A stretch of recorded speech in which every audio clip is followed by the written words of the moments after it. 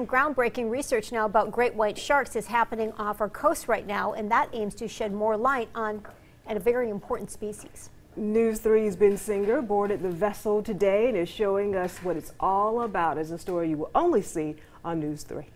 Welcome aboard the OCEARCH vessel. We are about nine miles off the coast of Hilton Head Island right now, and this has been a very eventful day trip. Shortly after we arrived in this boat right here, one of the boats that you see out there was actually in the process of reeling in a great white shark, and we were able to watch them lower this platform over here and guide it in.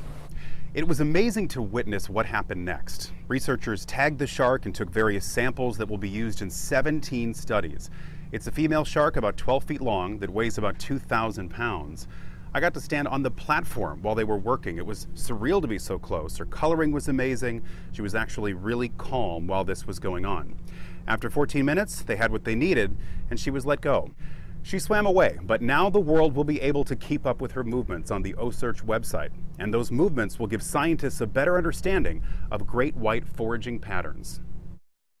Some of the samples gathered from the shark were processed right away, right here on the deck of the ship, and some of the researchers are actually from the University of South Carolina at Beaufort, and we will hear from them next week on News 3.